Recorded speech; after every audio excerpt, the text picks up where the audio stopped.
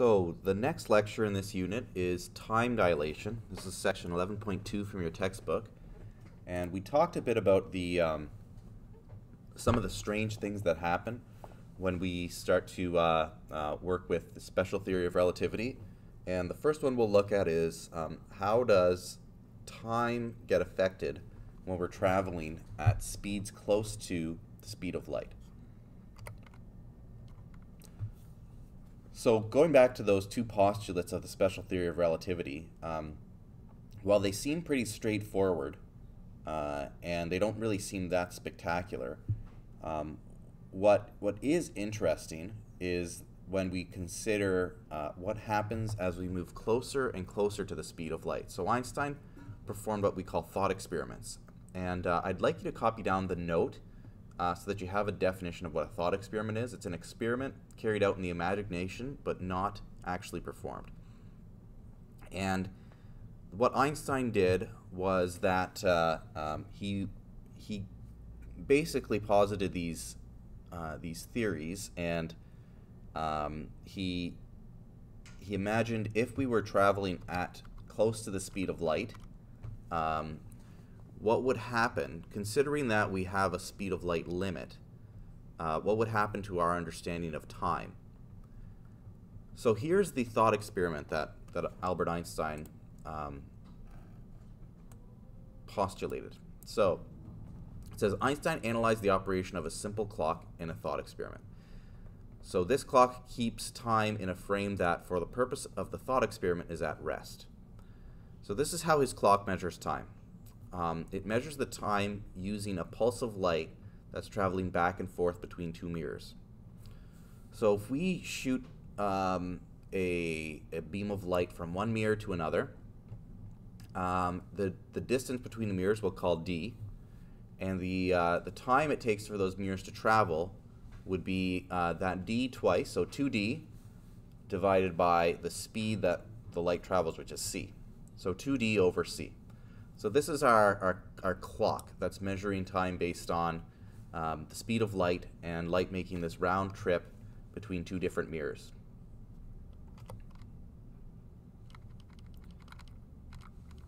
So imagine if we had this clock and it's moving at a constant horizontal speed of v.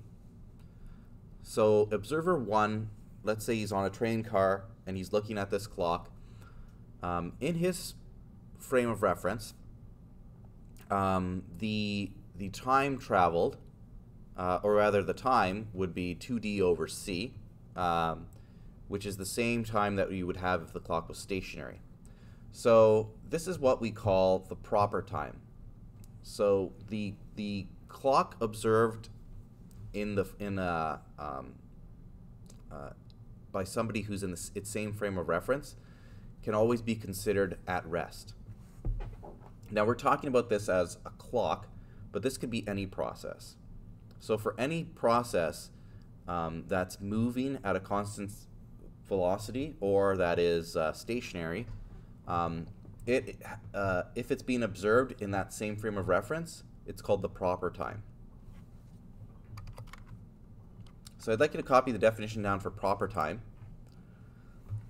which is the time as measured by an observer who is stationary relative to the clock or process. So the time interval for a particular clock or process as measured by an observer who is stationary relative to that clock is called the proper time. Now, the word proper doesn't mean that the measurements of time in other frames are incorrect. Um, it simply means that uh, we're, we're, considering um, that time to be uh, the time measured by, by that observer who's also moving relative to the clock. So that's just, uh, proper is the name that's given to it, but doesn't mean that that's the correct time and the other times are incorrect. So now let's look, uh, just like we did in, in our previous lecture, um, let's have an observer 2. Um, this observer is watching the, uh, um, the clock uh, from a frame of reference that is um, uh, I guess that is stationary to the frame of reference of the person and the clock that's moving. So um, for this observer, what they would see is a parabolic motion um, of the uh, uh, or rather not a parabolic motion, but they would see the, um, the, the, light moving up, uh, hitting the one mirror um, at a midpoint, and then moving down and hitting the other mirror um, at another point. And it would actually create a, a triangle. Be an isosceles triangle. Um, and uh, that person would measure time uh, a little bit differently because um, in this case, the time uh, or the uh, uh, time which is measured as um, 2d uh, over sorry 2d over c is it's the same except our d is a little bit different. Um, so we'll, we'll look at how we can calculate that by analyzing the triangle on the next slide. But observer 2 will have a different measurement of time. And the observer 2's measurement of time, because the distance traveled is longer, will have to be greater than the proper time. So we call this relativistic time. And this is the uh, time interval for a particular clock or process as measured by an observer who is moving relative to that clock. And that while that observer 2 in the previous example is stationary, um, because that frame of reference of the proper time is moving, we can consider that the stationary observer is moving relative to the clock. So please copy down the definition for relativistic time. So now we get into time dilation. And I've already kind of uh, mentioned this a little bit. Um, and you can sort of see the, the triangle that's formed, the isosceles triangle that's formed. Um, and uh, it's analyzed on the uh, right of your screen. Um, so it says using geometry and the fact that light travels at c. For observer 2, the light pulse covers a total vertical distance of 2d, but the horizontal distance is v delta tm. So in addition, the path of the light pulses forms the hypotenuse z of the two back-to-back -back right triangles. So according to observer 2, the round trip travel distance for the light pulse is 2z, not 2d. And 2z is going to be longer than 2d. And z would be equal to, if we analyze that triangle, it's the square root of d squared plus v delta tm over 2 squared. Or it's the square root of uh, d squared plus v times the relativistic time over 2 squared.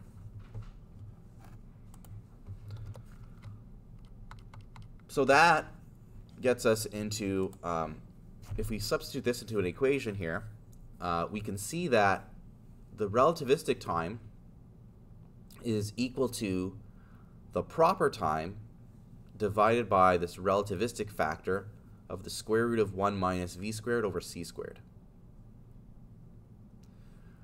So this equation indicates that um, delta Tm and delta Ts are different or relativistic for each observer. So the proper time and the relativistic time are different for the, for the observers. Uh, so in other words, the time interval required for the pulses of light to travel between the two mirrors depends on the relative motion between the observers.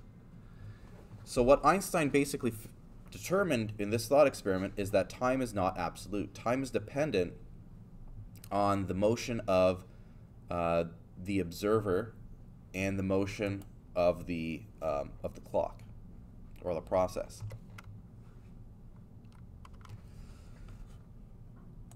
So it says uh, if we divide both sides by the proper time, then we can find the ratio of uh, the relativistic time as measured by observer 2 uh, to delta TS.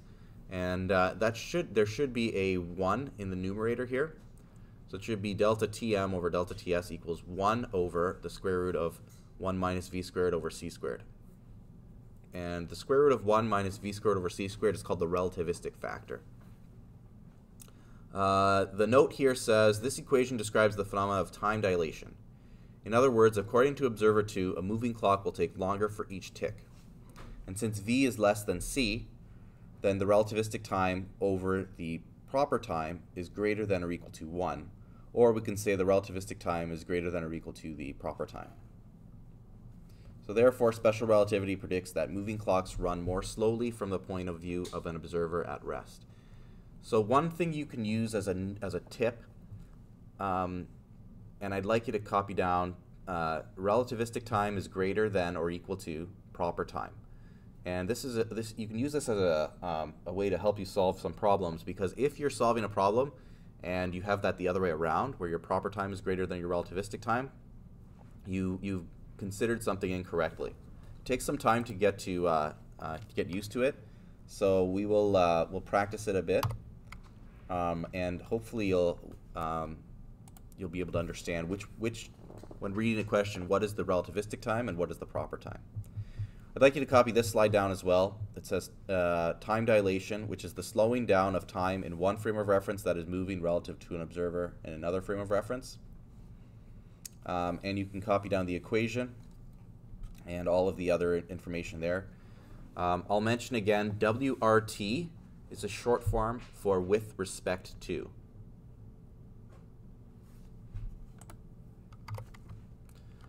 So here's a, a, a question here. It says, um, if the equation for time dilation is true and the experiments have conclusively shown that it is, why have we not noticed time dilation before now?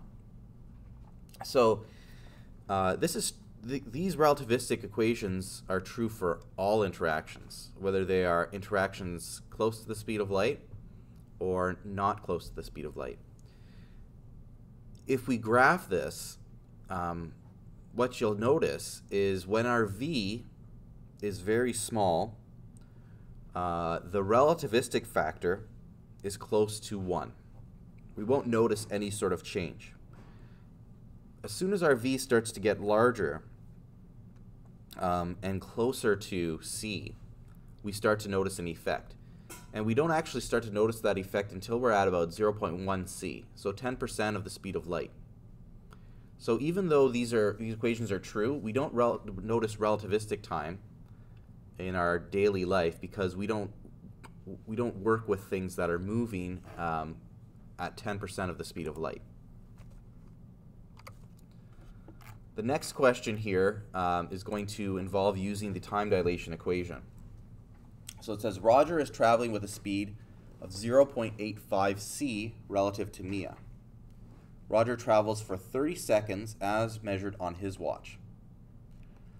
So we have to uh, determine who measures proper time for Roger's trip, Roger or Mia. Uh, what I'm going to do is uh, I'm just going to cut my screen here a bit so that we can uh, do these both at the same time. The first question um, is that the proper time is measured by the person who's, who's moving relative to the clock. And Roger is looking at his clock, his watch. He has 30 seconds on his watch. That means Roger is the one who measures the proper time in this question. If we move to the second part of this question, it says what um, calculate the elapsed time on Mia's watch during this motion. And I just noticed a mistake here. It says uh, delta TS as proper time. That's not true. It should be delta TM because our delta TS is 30 seconds. The equation we use is uh, the um, time dilation equation. So that's delta Tm equals delta Ts over the relativistic factor, 1 minus v squared over c squared. Now, uh, when we're using this equation, um, uh, sorry, I guess we have one, one other given. V is equal to 0.85 C.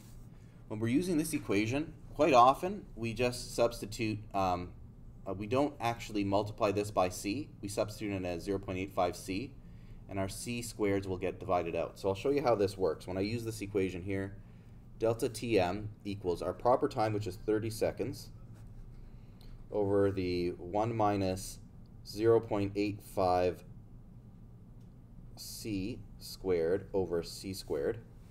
This c squared and this c squared will divide out. So this becomes 30 over 1 minus 0.85 squared. And um, my 30 was actually technically 30.0, so I have three, three um, significant digits here. So I'm going to put 30 divided by uh, 1 minus 0.85 squared, close the bracket, and hit equals. Oops, sorry, something went wrong there. Uh, 30 divided by um, bracket 1 minus 0.85 squared, uh, close the bracket, square root, and I get 50 point, or sorry, 59, sorry, 56.9 seconds. That's my relativistic time for this question.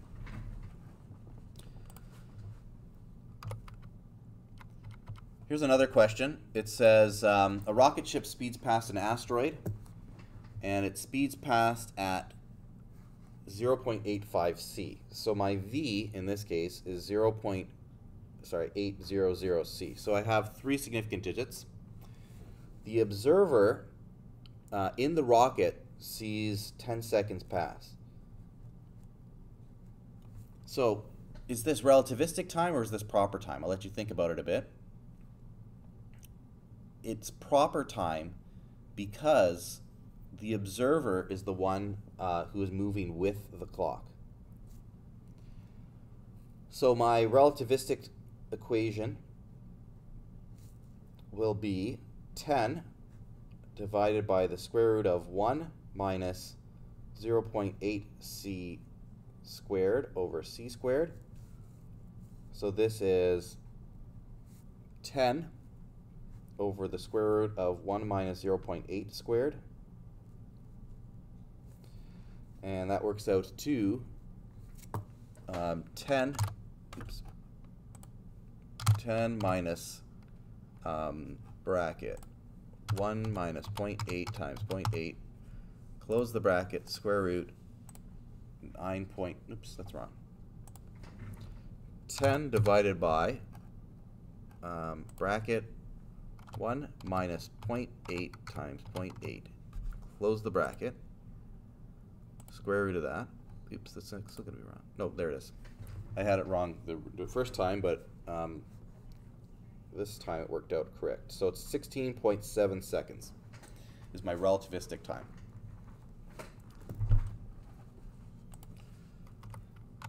Okay, let's look at another question here. Um, so this talks about a tau particle. And uh, a tau particle, we'll look at these uh, in the second part of this unit. But a tau particle, basically, you can consider it to be um, uh, it's something that is uh, that moves close to relativistic speeds. So um, its lifetime is 1.5 times 10 to the thir negative 13. So regardless of how fast it's moving, it will last in its frame of reference 1.5 times 10 to the negative 13 seconds before it dissipates. And it's in this experiment, it's accelerated to 95% of C. Um, what will be its lifetime according to the laboratory's frame of reference? So the laboratory is not moving, um, but the tau particle is. So the tau particle's proper time is its lifetime here. That's only two significant digits. Um, it's moving at this speed, so the relativistic time is going to appear to be longer. Um, so it's going to be 1.5 times 10 to the negative 13 over the square root of, and sometimes you could even just simplify this without doing the c squared part, 95 squared. 1 minus 0.95 squared. So uh, that works out to um,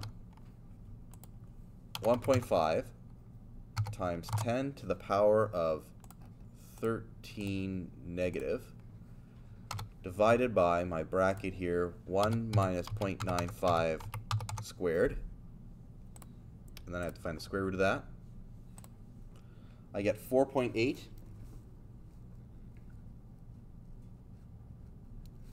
times 10 to the negative 13 seconds so that's my time of the tau particle in the laboratory's frame of reference so it appears that this tau particle existed for longer than its lifetime. But in the tau particle's frame of reference,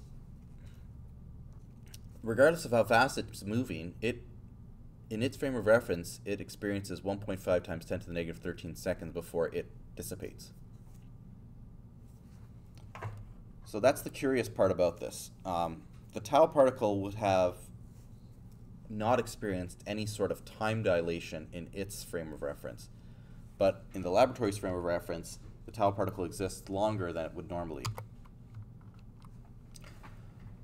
So um, this is pretty strange, this time dilation stuff. And it actually, uh, uh, some scientists were um, unwilling to accept this. Um, but uh, uh by the mid 20th century, we were able to, uh, to experiment with this a bit more.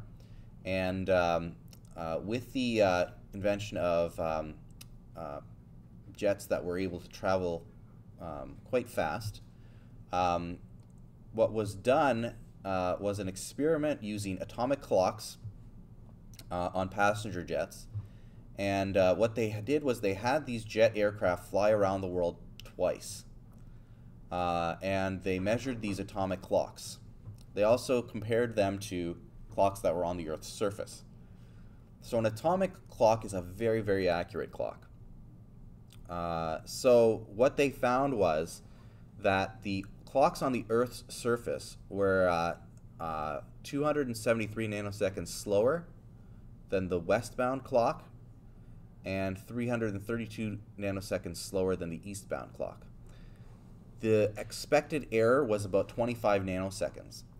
They repeated this experiment uh, and improved the accuracy, and they, all of them found that there was a, a sl very slight time dilation.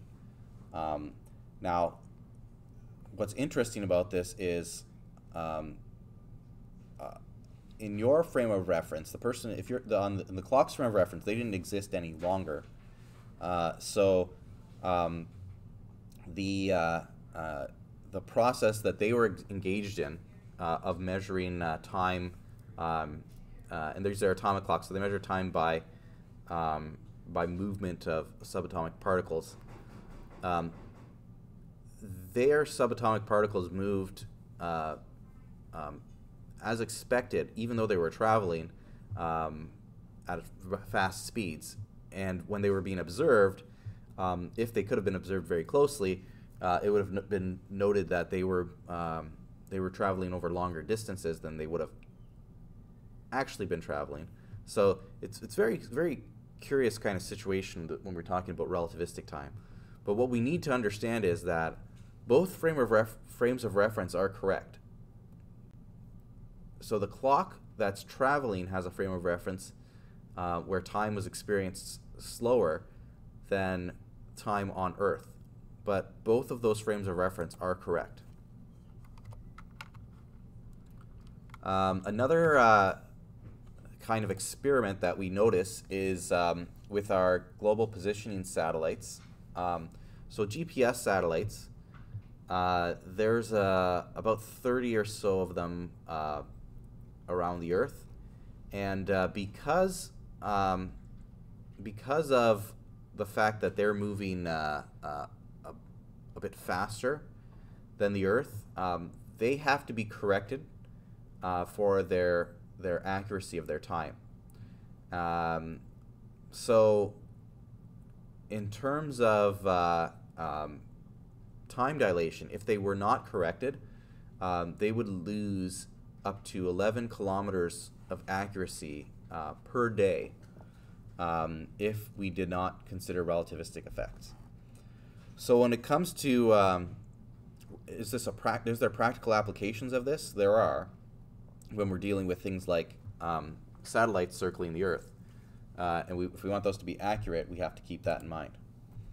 Uh, any any sort of space travel would, in, would involve this because we're traveling at faster speeds as well, and any sort of observation in a laboratory of um, smaller particles that travel close to relativistic speeds would have this effect as well. So here's uh, another thing that you can copy down for time dilation. Um, numerous experiments have provided evidence. The atomic clock aircraft, jet aircraft experiment and uh, time dilation is noted um, with the accuracy of GPS systems as well. All right, last uh, question we're going to go through before this lecture is done. It says two identical clocks are synchronized. One clock stays on Earth. The other clock orbits Earth for one year as measured by the clock on Earth.